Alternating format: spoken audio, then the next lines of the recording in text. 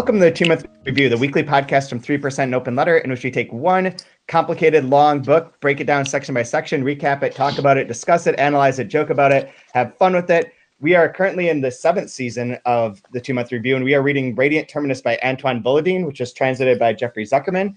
Um, as always, I am Chad Post from Open Letter Books, and this week we don't have Brian Wood because he has no voice um, woke up and couldn't talk, so he didn't want to make everyone suffer through that. So filling in last second is Kaija Straumanis, the editor at Open Letter, who worked on this translation. I did. Hello.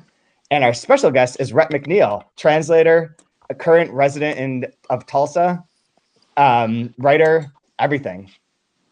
Yeah. Hello. Funny, funny guy. Um, likes to play baseball. Indeed which we will we will get into. Do you want to before we get into the book itself? We're going to be t- this today. We're talking about the first few chapters of the second part, which is called um, "Ode to the Camps," and specifically, we're talking about chapters nine through thirteen, or pages one thirty one through one ninety three. Um, and we'll get into that. But first, what do you want to tell us a bit about like your experience as a as a translator? Because I, I, don't want to speak for you, but you've done a lot of stuff. Yeah. Um, I'm actually uh, turning in a manuscript later today. It's a busy, busy nice. day for me. This series of books. Uh, it's an author I've worked with before, Gonçalo Tavares, oh. um, a Portuguese author. Um, and this is his first. Uh, I've done an epic poem by him and a couple of novels. Um, and these are like poetry or philosophy. They're not. Uh, they should be neither in contention for the poetry BTBA nor the uh, nor the fiction, both. nor the fiction one, or for both. or both. For yeah, both. Yeah, yeah, yeah. Um, and there, it's a series of books coming out from Quantum Prose, which is a small outfit out of New York City, sometime this summer. I've done a lot of books for Dalkey Archive, some for Hispabooks from Spanish and Portuguese, and I'm a writer in residence at this uh, Tulsa Artist Fellowship and yeah, teach at the it? University of Tulsa. What is this Tulsa Artist Art, Artist Fellowship? Good question. It's a it's it's crazy. There are visual artists and then writers of all sorts, um, and it is uh, no strings attached, non-project based um, fellowship that brings artists from all over the country to Tulsa, houses them, gives them office space or studio space for the visual artists, and you just do your thing. It's kind of unbelievable. It's founded by the by this uh, benevolent billionaire who kind of funds all the cool stuff that's going on in Tulsa. Um, and it's very lovely. I've started a baseball team here, as I told you about, Chad. Yes, yes. I uh, want to come play on your baseball team. Yeah, I'll have to bring you out this summer when it's in full swing. Um, right on. I'm always down. I'm always down for a little ball. I can, I, I can, uh, I can, I can, I can whiff profusely at any moment in time. there we go. Yeah. and when we, uh, everybody's drunk and smoking cigarettes and oh. sometimes other stuff. So oh, no one's even better. No one's in top shape yeah. the one the one time I ever got picked off on uh, first base because I usually pretty fast and steal a lot, but I was playing in the old old man league here. I was super stone hungover. Got nailed, and it was like I was so embarrassed. I was like, my reaction time was so slow that it was like just awful. But anyways, um, so uh, how did you did, have you read Volodine before? I have. I read one of the ones. Yo, I did. I read uh, Bardo or not Bardo when okay. it came out. Um, and that one, I guess, for I mean, when going into this one and Bardo as well, I kind of knew that this extended universe existed, mm-hmm. and kind of in the same way with other series or um, you know larger multi-book projects, I kind of didn't know where I should dip my toe in. I know. Um, but that seemed as good a book as any as yeah. does this one. I mean, you kind of start to feel the rhythm of it of it about thirty pages in, mm-hmm. mm-hmm. um, uh, and it didn't seem like neither that book nor this book seemed uh, daunting or like I was joining a narrative uh, halfway through. It's just like you enter this universe wherever you enter it, I suppose. Yeah, absolutely. And that's the thing. I mean, it's hard for me to say because I can't read French, but to like be able to see what the overall map or metastructure is of his like 40 supposed 49 novels, 40 three of which I guess are written. Um, because some of them, I think I mentioned this on the earlier podcast, but some of them take the form of like Radiant Terminus, where it's like a novel, like a, a essentially a novel, and some of the character names uh, re-exist or reappear in other books of his. But and there's a lot of references to the post-exotic writers, and but it's like in a different point in time or space as some of the other books. And then there's the ones like um, writers uh, that Dalkey did, or post exoticism or post exoticism in 10 lessons, lesson 11, which are more like the theory part of it, or explaining a okay. little bit more about the characters or about what post exoticism is more directly. So there's like a lot okay. of different layers to it. And there's no, I don't know what the topography, if there's, if you could even apply that word, yeah. but, um, to, of like what his whole setup would be. But there are all these like kind of different parts of it. And Bardo and Radiant Terminus, I think, are the best to get into because they are fairly straightforward in a sense. Like yeah. you can read them, you don't feel like you're you don't know what's going on or like these characters existed before. But then when you start reading more of his books, it's the fun part of like, oh wait, this is that I remember this reference, or like I know the story of the post-exotic writers are sure. all jailed and murdered, and like now they're all gone, and now we're in a world in which they're not helping out anymore, and so the Soviet Union's falling apart and the capitalists are on the rise again because the post-exotic writers are gone. So you can sort of like place and sort of let things bounce off one another. But I don't know that there's like an order to them by any means, like the way there would be for like um like uh, uh George R. R. Martin uh, books. Sure, yeah, yeah. Like I don't think you can just jump into Game of Thrones at volume seven and and understand what's going on with the yeah. ice frost fucking kings or whatever. Um, I actually have a question about those two books. Yeah, you just showed, Chad.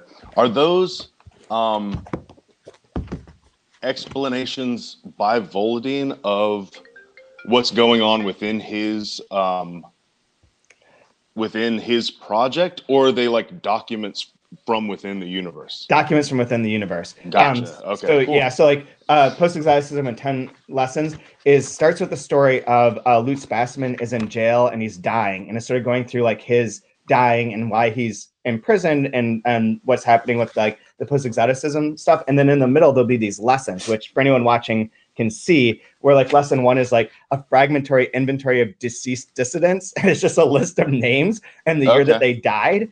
And then like um, a later lesson will be like a review of Minor Angels, but it's not the same Minor Angels that was published in English. It's a totally different book that's made okay. up. Um, but then there's like um, the most important the ones. Last one is just a list of other titles. That's where I'm getting all the stuff for our game from. The mm. last one is uh, by the same author in the same collection. It's just a list of all post exotic books that exist within this oh, universe. Like a bibliography of a bibliography yeah. of okay, 100 cool. of two no three 343 different books. Um, and it has all the authors' okay, names. I and, love that. And whether they're and then in the middle there's all these sections that are like the romance. So it explains what the romance is, um, which is what um, uh, what should I call it? What uh, Radiant Terminus would be, I believe. And then there's like novels or interjects that are like another form, more like Bardo or not Bardo, and like the Lutz okay. books. And then like some other specific terms that they use, like a murmurat, um, a narrat, uh, and yeah. all the different like ways that they two words two words on our Bardo. Um, so it's it's got like kind of more explanatory, like here's what this means in like this world of post exotic authors. And then reading this, like if you've read any of the others, it's like, oh, okay, I get because they'll make reference to that in Radiant Terminus to like Maria Qual's like Nerax or her like her they okay. use the weird yeah, word. It doesn't say like novels or stories or sure. whatever. So it sort of explains that. Um, but it more more importantly within this one gives like the kind of um spiritual nature of what the project is. Like why does post exoticism exist? It's trying to smuggle in information within like a system that was going to crush dissidents and crush rebellion underneath the capitalist sort of weight and power. Okay. And the post-exotic post-exoticist writers are trying to like use those existent forms but tweak them by bringing in information that otherwise would be banned by the system and tricking it. And part of it's okay. through dreams, and part of it's through like creation of dreams in the reader, so that it's not the words on the page because those would be get you in trouble, but like the impact that it has afterwards. So it becomes like really like you could take it people who are obsessed with Volodine can take this into like long philosophical and semantic sort of uh, places with sure. like what what it means for writing and for translation and for how books are perceived and reader responses and all that kind of fun stuff. And for one, what he might be trying to do with this 49 book. Yeah, exactly, exactly. Um, with writers, it's a just it's bios of a bunch of of the of the post exoticist writers, sort of like um, Nazi literature in the Americas by Bolaño. Um, okay, and they're all dead and so it like tells like how they became writers and like what their sort of like work was like and then how they died and like what their okay. what their painful life was so it's it's fun and it's got some stuff that like really applies to this book which I, I think i'll come I'll do it at a different point in time because I don't have it marked here right. But um, but there are some things that like sort of reflect on Radiant Terminus. Um, but it's it's fun. So it does yeah, it all starts to like once you get into it, you can just start linking them together or just read them separately. Like there's no Yeah. need for someone to be compulsive and read everything, but each one has like a different sort of perspective and it's it's very fun to read. So- Before we get into it though, too, we have our game. So every week we ask the guests to like imagine what one of these post-exotic writers would be um, if they were real. So you Yeah. get an interesting one. You get the Wernieri cell. Can you say that one more time? Wernieri cell. Wernieri Sal. This sounds uh I want to say a factory foreman. Ooh. Factory foreman at like a place that uh cans motor oil, something. I love how all of our post-exotic writers are like like like just you know uh proletariat. yeah, like, yeah, yeah. Failed exactly. tennis work players, Exactly. tennis coaches, factory No, foreman. no petite bourgeoisie in this. Uh, in this No. realm. That's pretty appropriate. yeah. Fuck the petty bourgeoisie in here. the fat hippie who who dispenses wisdom, Kirill Gampo. oh yeah, that was a good one. That was a good one.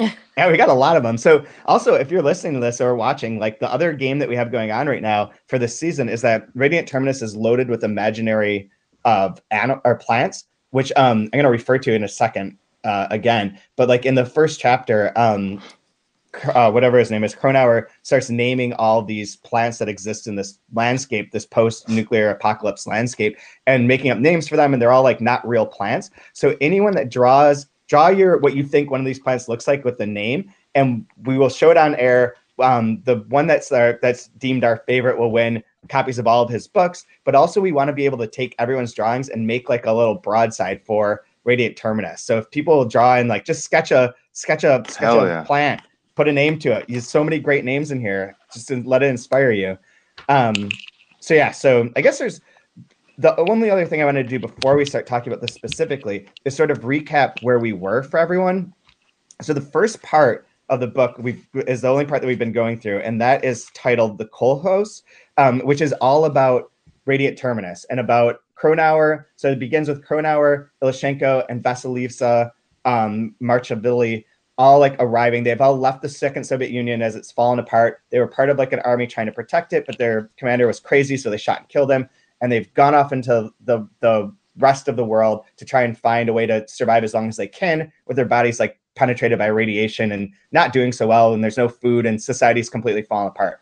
At the beginning, they find they end up at the Red Star, which is a has a nuclear um, plant there, but it's like abandoned, and there's a train with some soldiers that kind of pulls up, and Vasilisa is dying, like real dying, and so Kronauer leaves, thinking that he can get to the smoke in the distance where they'll be able to get water and get help for her and come back and save them. And the rest of the first part is his adventures in that place where Solovyei is the leader of this this commune and can enter people's minds and like basically like mind mind rapes his daughters repeatedly and is like a bad person and has a, a conflict with Kronauer. Now in chapter nine, we, we've moved to part two, Ode to the Camps, and we're right back at the beginning. We're back where Kronauer has just left, and Vasilisa and um, are there at that place where he abandoned them outside of the Red Star. The train's right there, and they're trying, and, and he's Ilyushenko's trying to think of what to do and what he should do with her. Like, should he bring her to these to these soldiers? Are they trustworthy? Are they not? Are they going to shoot her? Are they going to kill her? What's going to happen? Um, and he's not sure what to do. Um, and he ends up going to see them, and that, which is the one part that I was mentioning real quick. When he goes to walk over to to them carrying her body, he references that they're in an indistinct sea of no, now unnamed grasses, which is a real interesting twist because right away when it's Kronauer talking, he starts naming everything like almost like an Adam figure, and Ilyushenko is like, "These grasses have no name," which I think is a neat contrast. But he brings them over, and um, this is one of the things that we talked about on the first episode too, where in a lot of post-apocalyptic books, one of the big questions is whether the humanity that's fragmented is naturally good or evil. And so far, there's been so many examples of every time that there's a male, they're like raping, murdering, killing, violent. It's all violent terminology. It's all violent acts. And so he's naturally suspicious. But he takes the takes her over to the to the people, and they're like, "Well, we're not going to eat her. like we don't we don't eat people." but but it, so it's, so they are, I guess, good. But anyway, so what did you think of this section? this chapter in particular? Um, I'll go first. Okay. Yeah, go for it. Sky, Um, Sky doesn't remember. Right.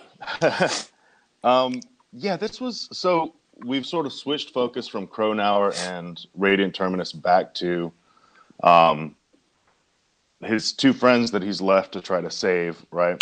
Yep. Um, and it was interesting. Well, yeah, when he he basically only approaches them after she's died because of this fear, this persistent fear of rape that is just omnipresent in this book, and which apparently, you know, some of this the the post exotic writing is referred to as like ardently feminist, and especially this one writer, I think her name was Maria Quall Yeah, Maria Quall. who um, you know just describes the human race as sort of descended from millennia of the world's best rapists and Yeah. describes all sex acts and the uh, consummation thereof. The orgasm is just like a recalling of this origin history.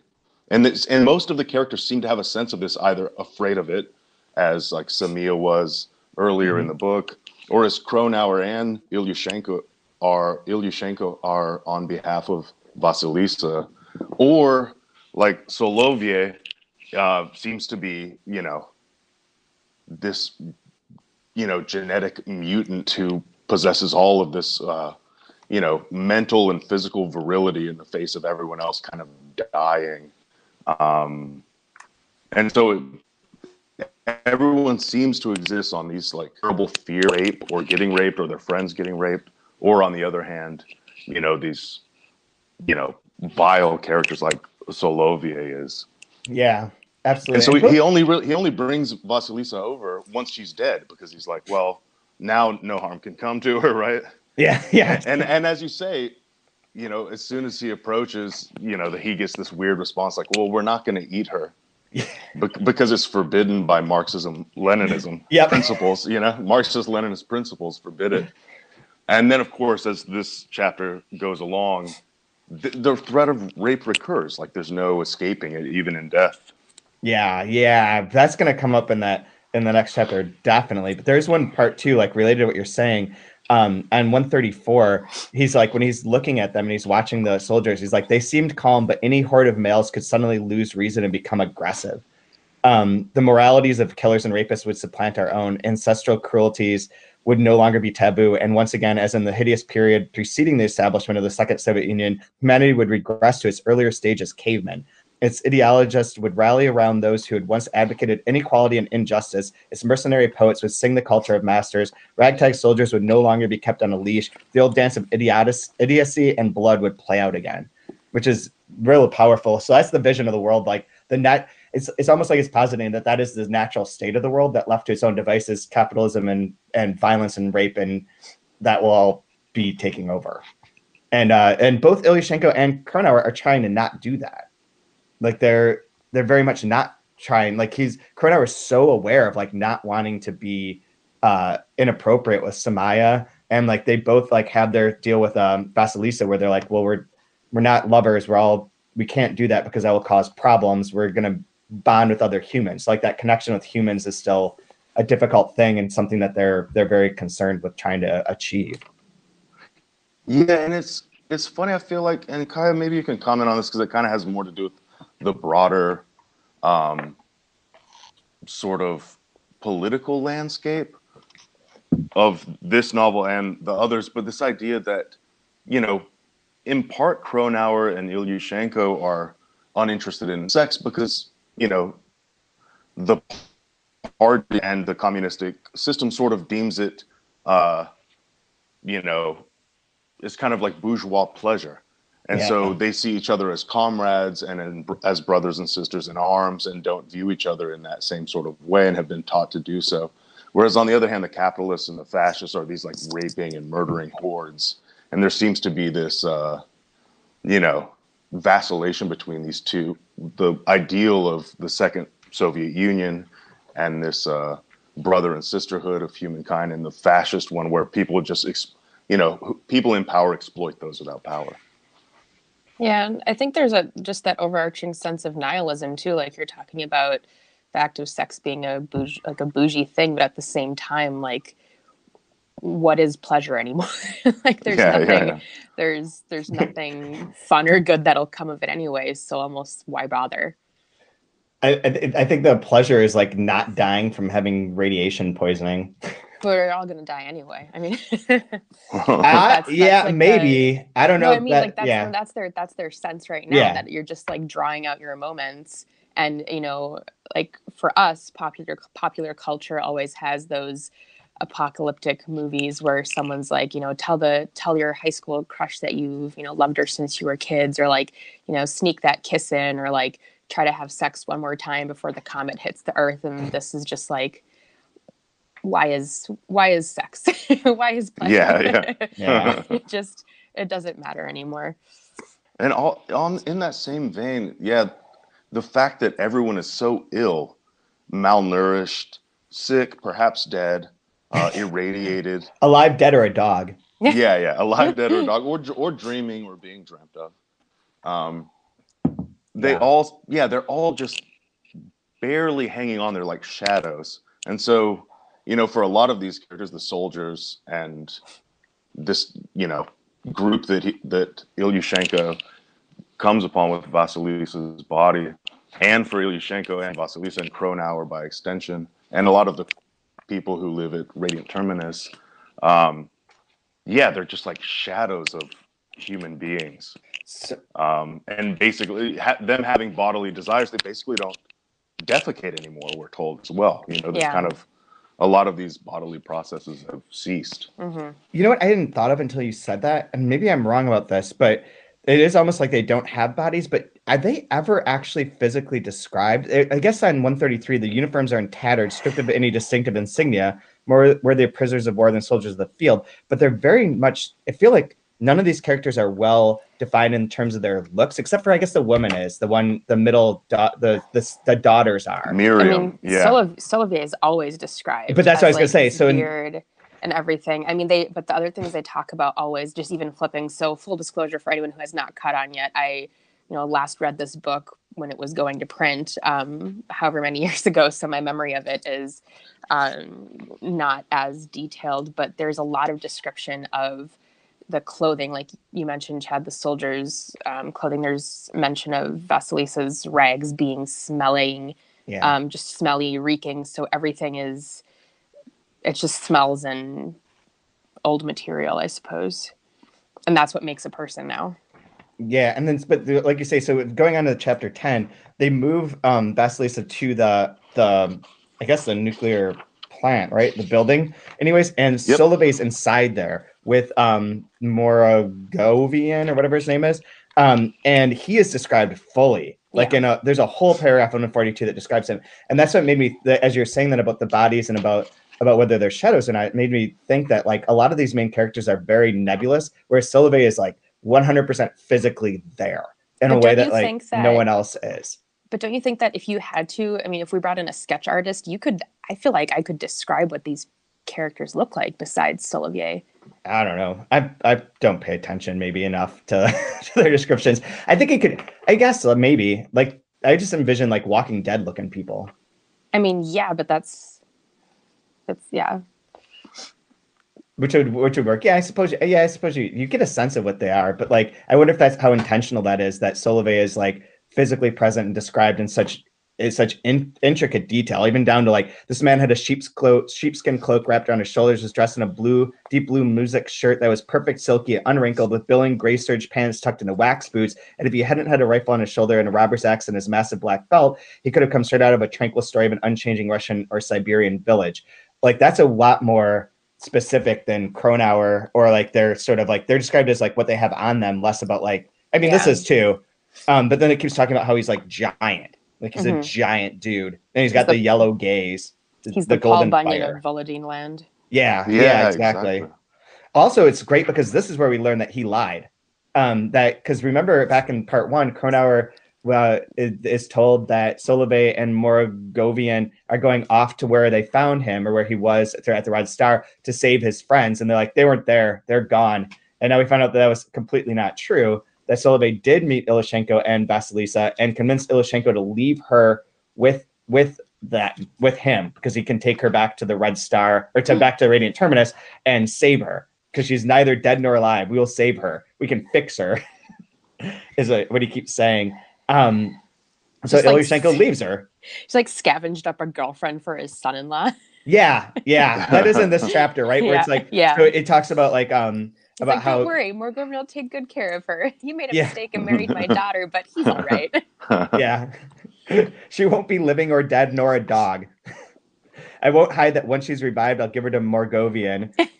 Um, uh, and that, and this one goes back to like, oh yeah, and your comrade Kronauer won't know anything about her. He's got some sort of infectious unhappiness in him. Uh, for the, me, that this man will always be accompanied by a woman dying or dead. So it's back to that line about Kronauer. So like, yeah, so Solovyei's game plan is to like take Vasilisa, revive her through like a mind thing again, and or the heavy, heavy light light water of Grandma Udgul, maybe Mm. who knows, but like revive her. Um, and there is a bit about that at the end where it says that she's able to understand the words and she perceives them as vague echoes and waited for what happened next. So she's not completely dead, but I don't know that in this world people can be reborn in so many or come back to life so many ways or can live forever that death is like death isn't death isn't our death exactly. Um, but so yeah, so he's gonna take her, put her in the basement, get her back up to working condition, and give her to. Gonna get Yeah. back up to work That's- condition. That's like, yeah, that's pretty as as bad as that sounds. That's pretty much what his plan is. This guy's a mess. Like he's not good. He's It a was- big bad. It was funny too when they when Ilyushenko brought her in the machine room reactor.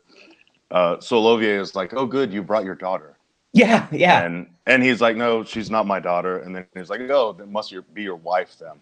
yep, You know, because those two terms for Solovyei are clearly kind of somewhat synonymous, at least related, wife and daughter. And also for him, like seemingly women don't exist in any other. I mean, it's Yep. very much an old fashioned idea of like, well, they're either possessed by a husband or by a father. So they've got to be one of those things, right? It's either someone's daughter or someone's wife because how else would you be walking around with them? right. which is also how he kind of doesn't understand. He doesn't want to understand that Kronauer just put Samiya on his back and brought her into back to Radiant Terminus. Mhm. Um, you know, he thinks something fishy must have happened because what else would two people, a man and a woman, be doing together on a journey, Yep. other than you know something lascivious or whatever? Because obviously he's a uh, he's Yeah. fucked up in that regard. Well, just a few lines down from what you're saying, he even Solovyei even says, "For me, wife or daughter, it doesn't matter." He says, oddly proud. So, yeah, there's that. This guy's horrible. Yeah. I think I wanted to mention before we move on from these pages something that I remember now sort of strikes me, and I think Rhett, you were talking about it um, or alluding to it a little bit about just people not knowing how to exist anymore. Is the dialogue like it takes it takes Ilyushenko a bit to warm up, but when he gets to the soldiers and they're like, "We don't eat flesh," and he just goes, "Oh." yeah, yeah, yeah. like that's his response and then when he's talking to Solovyei and he's like well what is she and Yushenko says well she's dead like Yeah, it's just interesting that Mhm. the the inability to function in conversation whereas the people who it's just it's interesting to see the different the different degrees of deterioration um not just mentally but you know um vocally or in, in conversation it's it's crazy like i'm just flipping through and remembering how awesome this book is so that that that I kind gonna put a put a mark down about that too because that ties into something I want to talk about in one of the next two chapters. But about the way that communication happens in this in this world is is uh, strange and mysterious.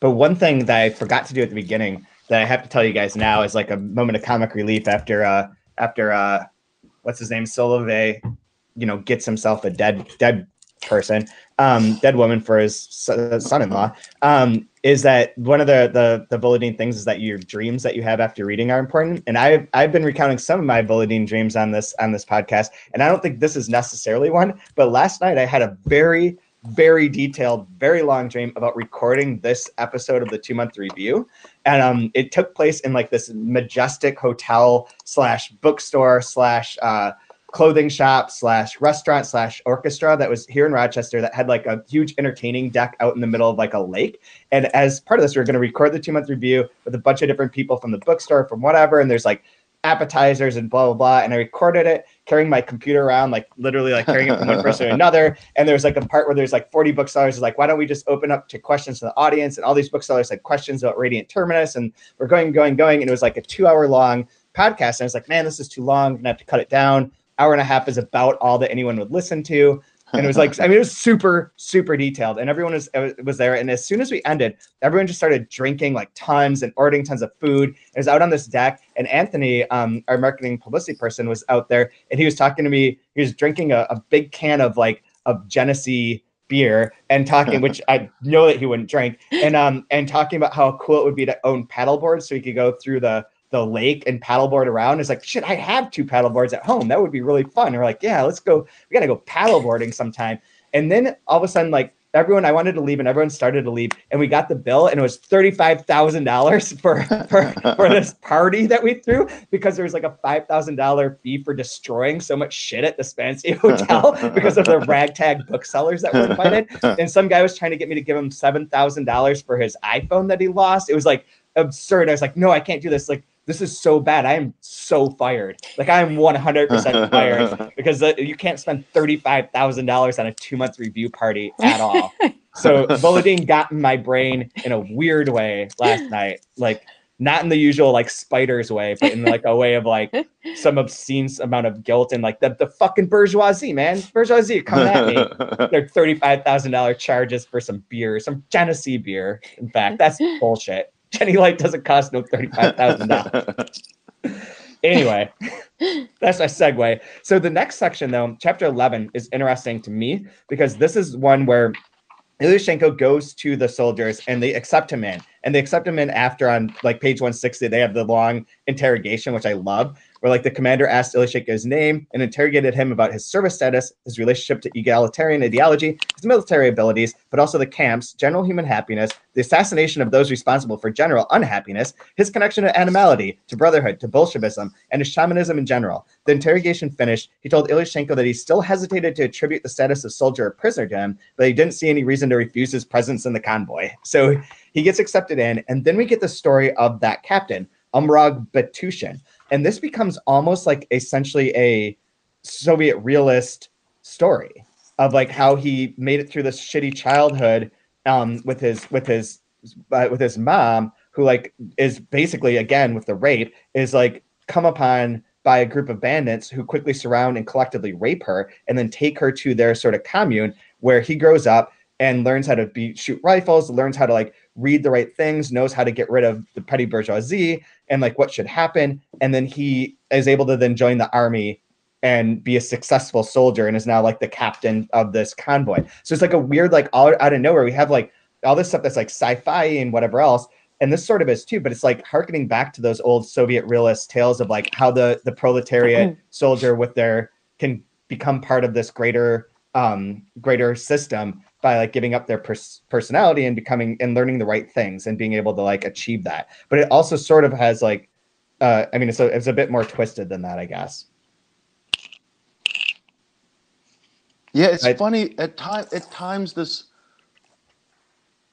Uh, I mean, you kind of mentioned this idea of genre with this book, or how do we classify this? And in the previous, um, in the couple episodes I've listened to so far, you've talked about as possibly speculative fiction or having this sci-fi element, definitely belonging to some sort of post-apocalyptic um, uh, disaster genre. Mm-hmm. Um, but at the other, on the other hand, like, yeah, you're right. In this section, it seems like a, you know, this could be a Tolstoy short story about, you know, a, pe- a peasant growing up in a lumber camp, etc.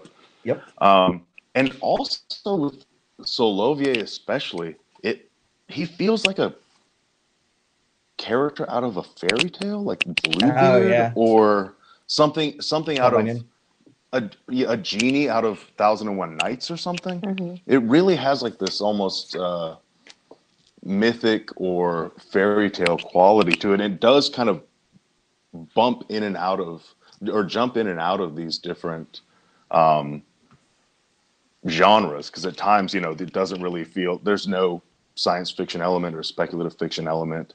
And then all of a sudden you'll have it or at other times you get no backstory about the characters and then you get this three page tale about uh, Umruk and his you know terrible childhood et cetera and how he ended up on this train. Yeah. and it's really of and it's funny because it's of no consequence because it's the captain changes every week yeah. so it's not like he's this important dude to the entire convoy it's, it's No. almost at random like he flavor the to be captain flavor this of the week. But that's like Yeah. yeah, like, like yeah, they're part of the the you got to be equal. Everyone's everyone's fine. I love the the part of this in 165 where like he's getting ready to leave from the doorstep of his cottage. Umrag Batushin went back over the basics of what he knew. He taught lessons on the necessity of collective discipline in the tundra. He discussed the ways of eradicating the idea of individual profit when there is nothing but lichen to eat and the temperature was below negative 40 Celsius. like the idea of individual profit. I love all the all the like Marxist Leninist bits that come in here are, are my favorite. So this is going to be a rather ignorant question, but do we, just as I don't remember, do we know why Volodine chooses the sort of Soviet backdrop or Well, I- the? I mean, It's it's, because- it's easy. it's easy to function in, but it's. I don't know if we know from an article or interview why he I this. I don't, but I can speculate that part of the the one of the main themes that keeps coming up is the relationship between people, um, and to try and have like a human relationship, and that the Soviet sort of ideology was that everyone, brother or sister, everyone was equal, and that that would allow you to be free and to be able to have meaningful relationships with people because they weren't being interfered with by capitalists and by by people who are extracting value from you and putting you into a capitalist system in which you must like try and achieve more, try and buy things, trying to be an individual. So you were separated away from your brotherhood. So like the Soviet is the counter to that, and that that capitalist viewpoint really dovetails with what you're saying about myths and about like fairy tales and about those stories that get passed down over and over, in which there is a big bad wolf that is evil and that is restraining people from being able to connect or injuring them or hurt, harming them as humans and as as a society as a whole and that the more that your those myths infiltrate and that the more that that system has infiltrated your mind you can no longer become human. And so like the soviet union setup was like the last attempt the second second soviet union was an attempt to have that more human thing and to have like they had the nuclear reactors all over the world providing like free energy to is referenced later in this chapter i think the free energy to everyone throughout the world. Yeah. Everyone could live you could live in these communes and not have to worry about money or goods or anything. And then the capitalist system which is tied into these these myths of like being in power of being the the, the Solovyei that's in power and that can control someone else or can take something from someone else those resurface as everything starts falls apart and that i think that that's the that sets up like this clear delineation between like that society didn't work either um for because it just broke essentially. Like they're like it just gave up. And that this being re-infiltrated you're in this this space where like you had this you've had capitalism capitalism's trying to make its re-rise with all of its like bad fascist overtones and like the micro level of Solovyei, but also they keep alluding to it being on a macro level of like these capitalists that are rising up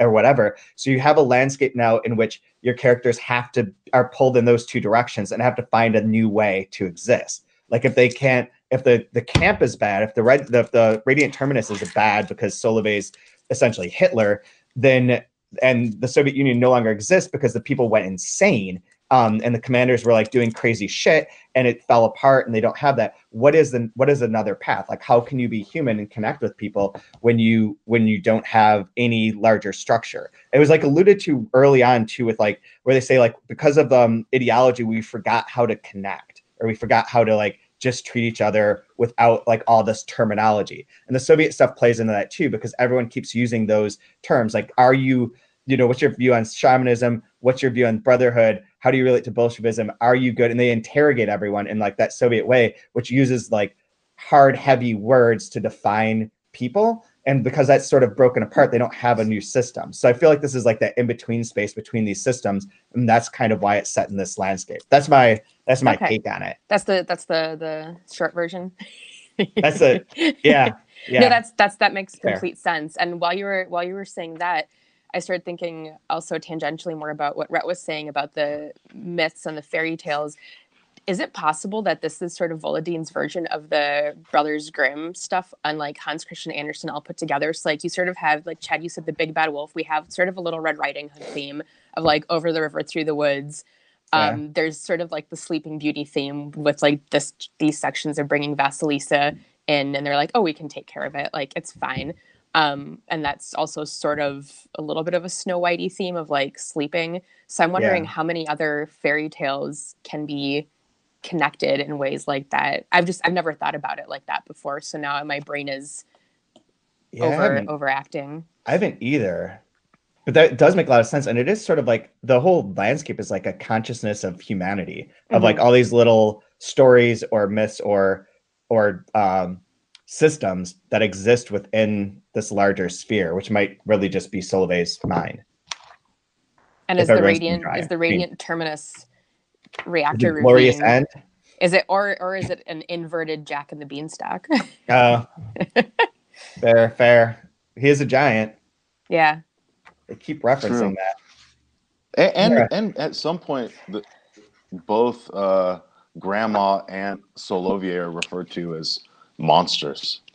I mean, yeah. there is sort of this language of the um, of the you know of mythology or fairy tales uh, throughout. I also wanted to ask, um, so at times, so for the most part, this is all written in um, in the past tense. Although at times it, it, there's a switch to the present tense, mm-hmm. and it's also written um, at, at times also the nar- the narrator really doesn't exist within the world of this novel except for occasional say yep. you know we were sitting out there or yep. we were in this state. And not just like the broader picture of the fall of the second soviet union the takeover of all the urban uh, all the urban centers by these fascist capitalists but also like the specifics of the plot. Like we were sitting by the train or something. Yep is yeah, this, does this so recur weird. in other of his books, or I was trying to figure out what to make of that use of the first person plural. There, I I'm trying to think if there is a specific time where that comes up. I think it's in okay. So in that there's a um two part self interview that he gave for like the New Inquiry, and it talks a little bit about how authors an author isn't a singular author; it's like a we, and it starts to talk about defining the narrator within that. Um, and it's like it's Volodine like it's it's Volodine like extreme. So it's like a lot of like little bits and pieces that are sort of funny and that are sort of like uh both philosophical and don't like all connect into like one strong linear argument. Um but there is something in there about this sort of narrative technique of like that is that there is no singular single narrator to define the story that it's part of everyone so when we talk we always talk as we okay. Um, and i feel like that's kind of what comes up in here is that where you would have that narrator is generally we and it'll say like us like all of us were sitting there or we haven't found that out yet or we'll fi- as we'll see in the near future sure. like and i think that i wonder if that's like related to that sort of idea that there can't be a single narrator of or a single author of a book all authors are the author all post exotic authors are authoring all post exotic books at all points in time huh that's what i kind of right. took it as which I guess. But related, so okay, so chapter twelve, moving past that one, this is an interesting one because this is like they go to their camp. Um, it tells the story of like how this convoy's been searching for a camp. They've been searching for a commune to that will be the best commune ever. But it has also a dreamlike vision to it, where the search the search for this like imaginary you know collective um, on the rails for concentration haven has already lasted months, if not some incalculable bardic time. The diesel tractor never broke. Fuel supplies and problems never cropped up, and as in if and as in a nightmare where everything repeated endlessly, the convoy slowed, slowly devoured kilometers week after week, shaking and jolting and roughing up its human cargo day and night. So like there's something mysterious about this train that can just keep going all over the place without like without needing fuel in search of this this heaven. And this is the part two where we get um the, the songs. So like this as I wrote down here, Bob Hope, Matthias Boyle, as a comedian in an agitprop troupe. So Bob Hope going around staging playlets and themes to help make people laugh um, as part of this the Soviet thing. They're singing about how the camps are like the most beautiful, freeing, um, amazing place in the world, and that's where they need to go. Is like this mythical camp, which kind of ties back into what I was saying of like finding a way. like the Soviet Union's gone, but maybe we can get to this commune. Um, maybe maybe it could be Anthony's commune. Um, that that would be like cult like, but not with any of that crazy sex stuff. Um, and and this camp would be where they could all like have their be free and have the most beautiful gesture of freedom. And so they keep thinking about the camps and singing these songs. Um, I, I, don't want to talk too much, but I do want to say one other thing. So this is what when you said Kaija something about how they take them a while to communicate. This is the most eloquent these people are, is when they're singing about the camp and it's all in song and performance. And yep. it's like it's it's mouthing the words or mouthing the ideas, mouthing the ideology, mouthing that just going that through the motions and not not they, they don't speak and they don't interact normally, but they mm-hmm. like they're all like yes. Like all the, the lines of like their dialogue are like, you know, nonsense or not nonsense, but just like sure for me, wife or daughter, it doesn't matter. The new captain said in a glum voice, mm-hmm. um, which is another part I want to talk to. But this part is like the singing seems to be so vital, and that seems to go back into that post exotic art is part of like life, is part of the way that like messages get through. Um, their performance as a comedian with a jawbone and a whatever else um, is the way that they can harmonicas they can they can communicate. Mm-hmm. Yeah. So the other thing related to that though, so here's that not what not my daughter, my wife. For me, wife or daughter, it doesn't matter. The new captain said, is a moment where Ilyushenko thinks that Solovyei is inflected and taken over the world. That this isn't a coincidence, but that Solovyei is somehow with them. And that's where I started thinking about this kind of idea that that is like those myths or fairy tales where Solovyei put this idea into the world, and therefore that's how people can interpret how people interpret it. That is part of like that system, that logical system is infectious almost meme like and like takes over and is one of the things that they're battling against is not just like Solovyei as a human being or the camp or the radiant terminus as like a place where people are like mind mind raped but like it's the ideas behind it are infiltrating all of everyone he's yeah, irradiating to, them yeah and fair. and and to me this gets like at a bigger question and it was something you meant it goes back to what you mentioned about uh in the introductory episode where Vol- Volodine said, uh, apparently, with regard to his work, it's less about the work itself than the dreams you have uh, while you're reading it or that are infected by it. And of course, within his universe, the world has been infected by Marxist Lenin Marxist Leninist thought, and of course, like the sort of anarcho-capitalist hell that is that is reigning uh, during this during the period of the books. Um, and so that's like, you know, two more iterations of like uh, infectious ideas. And then also the post exotic writers within this world are trying to like, you know, reinfect within the world of, uh, you know, these two opposing poles kind of reinfect the world.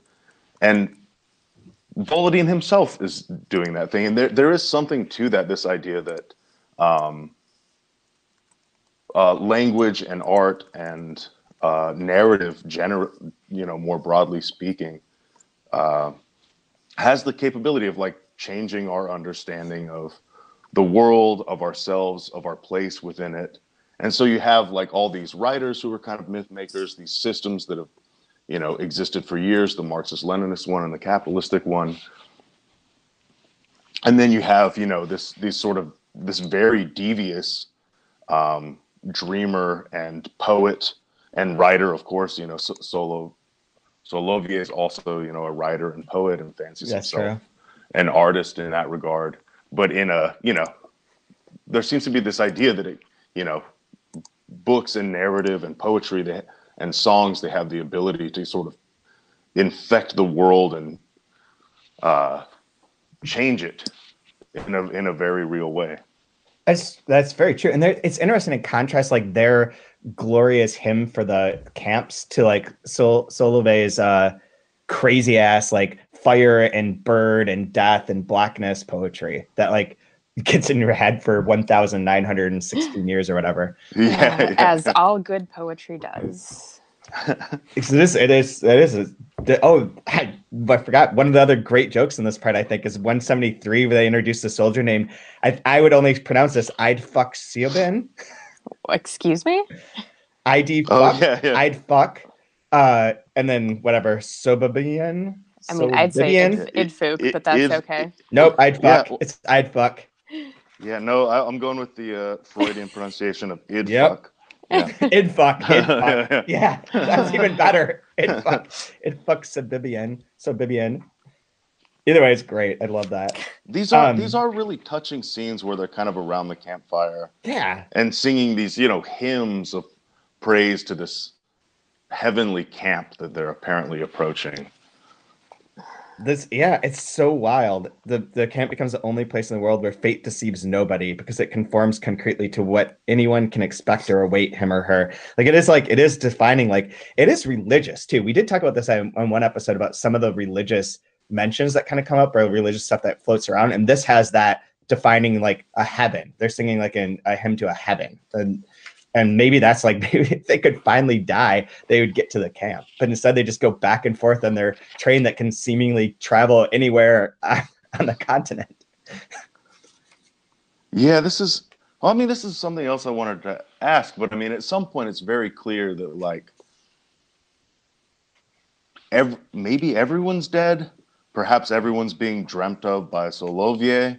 Yeah, Um, people Jacob's are dying and coming back. Yeah, people are dying and coming back to life, and so it's very unclear. In this, I mean, it's just a world where those distinctions are very blurry. yeah, Um, Well, what do you guys make of going back to 173 at the top? So I think Chad mentioned that this is the chapter where Ilyushenko's like, "Oh, we might like Solovyei is everywhere," and so Ilyushenko's sort of rubbing his tattoos and taking comfort in the hammer and sickle still being there, and then he thinks, "Fortunately, there was still Marxism, Leninism." He thought, otherwise, we'd be in a filthy, shitty nightmare. Who knew Yep. if we'd be able to differentiate between classes and even between the living, the dead, and even the dogs or that kind of thing? So. I mean, what do you what do you think or make of that? Like, is that the most sort of reverse lucid moment in the book, or not the most? But I mean, like, I- it seems it seems So- pretty aware, but in the wrong direction. See, this is one of the ones where I feel like okay, so everyone has to have a ideology or a set of terms in which to define the world. And Mhm. without Marxist Leninism, he wouldn't be able to define the world. It would be all the classes would be the same, living dead and dogs would be the same, and like they need the terminology or they need the, that belief system to be able to interpret what's happening. Almost like almost like the way that you have whatever your subconscious structure is is how you interpret a dream or like enter into a dream. That has I, I sort of take it as that, and that he's still in the Marxist Leninist thought because they believed in this this yeah, and they but I- still believe in the, the things. But I do think that I feel like it is very dreamlike. But I think it's, supposed to be so- ambiguous. it's so frustrating though because he's thinking that like, well, otherwise we'd be in a filthy, shitty nightmare, and it's like, well, what are you in now? yeah, It's yeah, yeah, Yeah, yeah, exactly. and it's so shitty. Like, is this? Eh, and maybe and maybe he's thinking that now just because he's finally with a group of people who aren't all dying and pulling them like it's not Kronauer and Vasilisa like he's he's unburdened of that I guess. I, I've it's, it's just such a weird thing to think yeah, I like that moment, and I, I, I too, I think you characterized it really well when you said it's like this, you know, accidentally very lucid thought. You know, Yeah. Well, if we didn't have Marxism Leninism, which is like this true, you know, the this the true narrative, right? Uh, we'd be just in a filthy, shitty nightmare. There's another part like that where there's something. It's like a kind of a. It's a, ends up being kind of a joke when Kronauer first encounters Solovyei. Solovyei says, uh, Kronauer says, "I haven't eaten or had anything to drink in the last few days," and Solovyei says to him, "Well, are you dead?" And for a moment, because of the nature of this book, you think like, "Oh shit, is Kronauer dead?" He might be. and, and and then he he answers, you know, I'm alive. And Solovyei says, well, there you go. What are you complaining about? You're still alive. Yeah, you know, it's it's something like a joke, but you do get this sense of like, oh shit, yeah, that's a very yeah soviet-esque joke of like it's Yeah. that's, that that rang very like golden calf to me of uh of like well what are you complaining about you're standing here complaining so you're fine Yeah, that's true. So the the last chapter they were covering for this week is um one in which he takes so so this is where Ilyushenko gets to become captain because why not? Um, and uh because that's just how it goes. Um, and then he he has some more dreams about Solovyei because he keeps seeing yellows, and every yellow is re- references that and believes that that's part of it. Um, and then you get a story. So instead of like the hymns of the last chapter, where it was like glorifying the camps, we get something that's a little darker, in which they say that camp is like the best place possible, blah, blah, blah. And the story is about someone who tries to escape and they try and capture them and say, like, this is, you know, anyone who leaves the camps, every escapee is condemned to ruination. Fleeing our collective means throwing yourself to the wolves. It means facing terrible moments of fear and pain all alone, as if there aren't already enough when we're together. The escapee has no future. We can certainly say and explain nothing can replace the camp. Nothing is as necess- necessary and healthy as a camp, which takes a different tone of like the camp is both like glorious, but now is like also like prison like. Like when the guy tries to escape, they get up and shine the light and try and find him. The escapees are like that's bad. Don't do that. Um, the camp is the most important thing. Um, the yeah, and like even like they they make it very clear at the end where it's talking about everyone knows everyone knows that the camp is the only unimaginary place where life is worth the trouble of being lived. Perhaps because our awareness of being alive is enriched by awareness of being such in the company of others, an effort of collective survival, an effort that's certainly useless and difficult, but with a nobility unknown on the other side of the barbed wire. Um, so yeah, so the barbed wire, the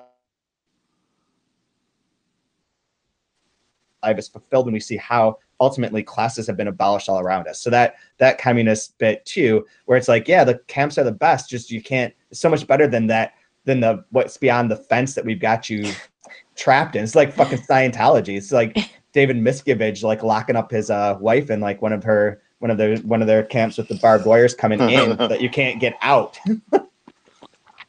well, yeah, I hope we don't was... get sued for that. Um, whatever. Fuck I you, disavow, Scientology. I disavow that. Uh, yeah, yeah. You guys can separate yourself. I say fuck you, Scientology. I've gone clear. I disavow. Um, the statements made on this podcast in no way reflect the. no way reflect the University of Rochester. and actually, to to that end, I'm going to defend the camp here. Okay. Uh, because it does. So it seems it's unclear, like who is running this camp. It has like kind of a mythical existence. Yeah. But it seems perhaps that it's like a camp. And also we should keep in mind that the this group that's taking the train to the camp it, at some point they were soldiers and detainees. And yeah. now they just kind of have switched spots and everyone's it's become very egalitarian. Yeah. Right? They're all just in this filthy, shitty nightmare. Yeah. And there is no real reason for anyone to try to escape, or if they do, to give a shit and recapture them. Um, like no one, truly, no one really cares, and they all just want to get to this camp. But the camp, the way it's described, it rang. The thing that it made me think about, and obviously this book has like these really, um, like unavoidable themes of political themes, obviously, but also environmental disaster. That touches on environmental disaster, basically rendering the entire planet uninhabitable for for most of humanity, or allowing you also, to live forever. Yeah, yeah, yeah, exactly. So you know, hard to say if global warming is going to kill us all, or somehow create a mutant race that can, you know, live for hundreds of years. Man, but it but it brought up these like metaphysical questions of like, um, that reminded me of Schopenhauer when he says something to the effect of, you know, being born, we, we can look on being born as a pr- prison sentence. Yeah. Where we're all unju- unjustly uh, incarcerated for life on this planet. And the only thing to do is to kind of take pity on each other and aid each other, which is the idea of this camp. It's like finally in the yeah. camp, we're all we're all equal and all we can do is sort of help each other out. And there is no or oppressor, despite the fact that they're in this you know that they're being jailed and it seemed like an apt metaphor for existence generally you know it's but, i just have two new thoughts one is like so their their camp like as the people that are in this convoy i think is like very egalitarian and good then the stories that they're telling like some of the stories from the past are like the kind of life lessons sort of like the myths of the communist side so if we have mm-hmm. like the big bad wolf and those kind of fairy tales these are so the story of like someone trying to escape and how that's bad is like telling them like you're not going to leave our camp because you'd get screwed. Yeah. Like don't do that. Like um so it's sort of like a warning like that. Um oh shoot, I had another thought as you're saying that. Um sorry, my phone died. okay. Um wow, what was it? What was I going to say? Like the oh damn, I forgot it. Doesn't matter. It'll come back to me. About the the camp itself or about these places that they're that they're in and the Schopenhauer thing. Ah, forget it.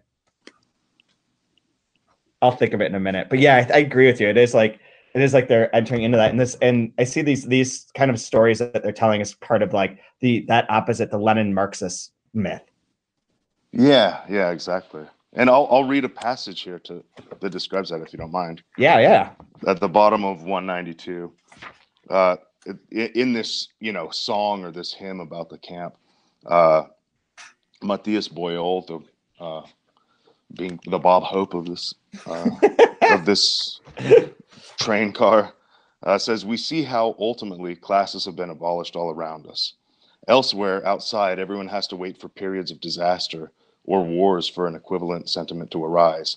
The camp doesn't need successive cataclysms or bombs raining down for its inhabitants to enjoy mutual aid and fatalistic brotherhood. And that idea of fatalistic brotherhood like everything has gone to shit but at least we you know we aid each other and we feel each other's pain um, I don't know. It seems like it's like a philosophical sentiment about like existing in the world in some sort of way. Yeah, I really like the next line though too. Everyone knows that the camp is more uncomfortable but more fraternal than the lands that make up the rest of the world.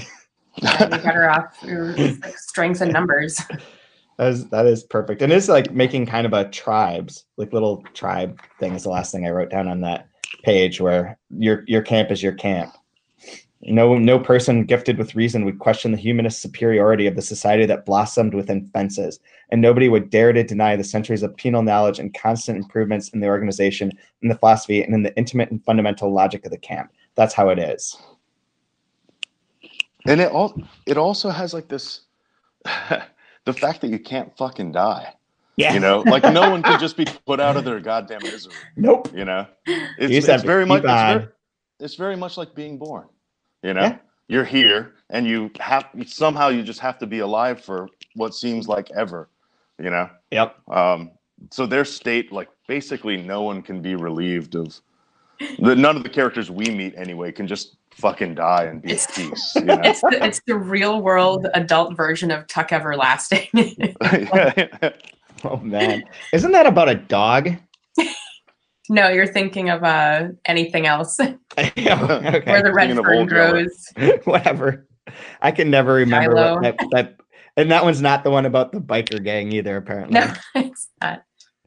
Uh, uh, yeah, I can never keep these things straight. Um, so I don't, I don't have anything else to add to this, but I do have a favorite line, and I, which I would like to read now because it's my favorite. It's a little bit longer, um, but on page one eighty four, um, when they're getting ready for this, they're like, "We're going to perform a burlesque glorifact." Tell us, Boyle, is there a difference between a burlesque glorifact and a tragicomic threnody like the one you recited for us last week? No, Pedro and Darduff, it's exactly the same thing. It's exactly the same poetic bullshit. That's I my favorite- that. that's my favorite part. Um, what do you guys have a favorite line from this sections? These sections? I was gonna read that same thing. Oh, too bad. That's okay. Other than that, I, I'll go back and say it's the one where they're like, we don't eat human flesh. And the answer is just, oh, That that is good. There's also the another one of my favorites was on 171. The audience accompanied them by approving or voicing speeches, as we did in the old days during the Korean pansori performances, when Korea still existed and we still believed in beauty, the future, and the impossibility of death. Mm. You got one, Rhett? I do. It's 182, and it is uh it's Ilyushenko is thinking about Solovyei, and it's this, it's this list of things that Solovyei is a this great description of him. Yes. Uh, 182, middle of the page. Uh, this necromancer of the steppes. He's come back here. This awful kolkhoz matchmaker, this reviver of cadavers, this horrible shadow, this giant impervious to radiation, this shamanic authority from nowhere, this president of nothing, this vampire in the form of a kulak, this strange man sitting on a stool, this abuser, this dominating man, this sleazy man, this unsettling man, this nuclear reactor creature, this godless and lordless hypnotizer, this manipulator, this monster belonging to who knows what stinking category. Hell yeah. That is solid. oof. I love, I love that part.